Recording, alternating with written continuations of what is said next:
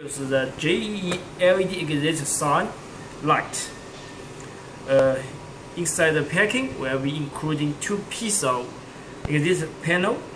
So the light can be single face or double face like this. This covers the panel.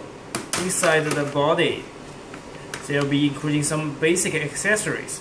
Usually, we pack the accessory like this with a poly bag. Inside the poly bag, including some parts. The first one is the ceiling mounting accessory.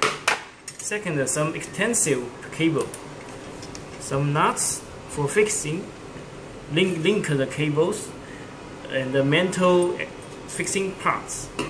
Two screws, one instruction manual. And the light also have a position for the top mounting. It can be top mounting, end mounting, and side mounting. This part is for the top mounting. This cover nuts and fixing the top mounting parts. The light can be fixed in the ceiling of some parts. And the light with a test button for checking the battery situation two arrows on the panel is removable. Also, the color of the letters can be green, and the colors of light in the panel can be white, also can be black.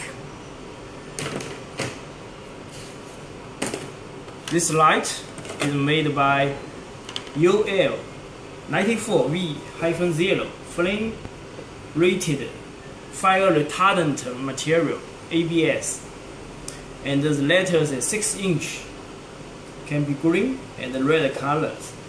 It's suitable for damp location working under 0 centigrade to 40 centigrade the light have two mode one is the battery emergency normal one.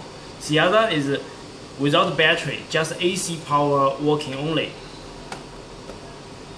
Thank you. That's all.